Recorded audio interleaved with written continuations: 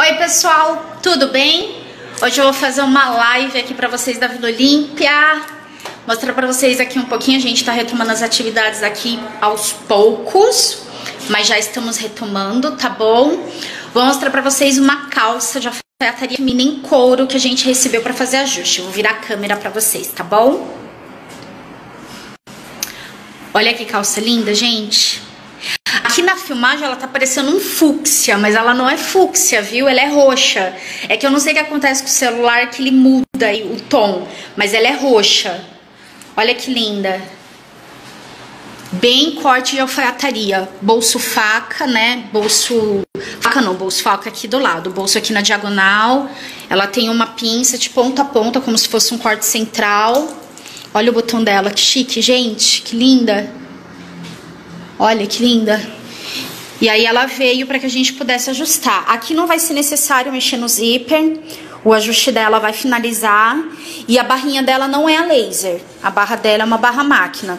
Então, quando a gente faz esse tipo de ajuste, quando mexe na barra, vamos imaginar que aqui a gente teria que fazer até embaixo. É removido o zíper, a barra é descolada e refeita de novo. Mas não é esse o caso. Esse aqui é mais nessa região de quadril e coxa, que tá mais larguinho nela.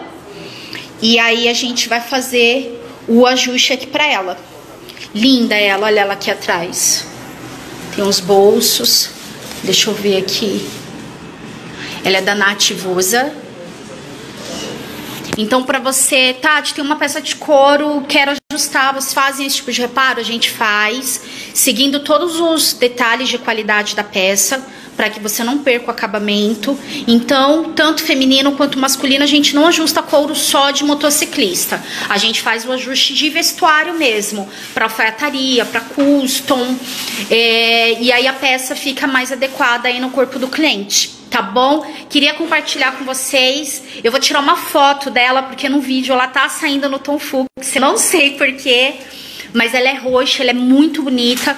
Ela é um estilo cigarrete assim, justinha. E é uma peça bem, bem bacana mesmo. Bem bonita. Tá bom, gente? Então, queria compartilhar com vocês aí o vídeo. Espero que vocês gostem. Deixa os recadinhos aí pra gente. E é isso. Uma excelente semana.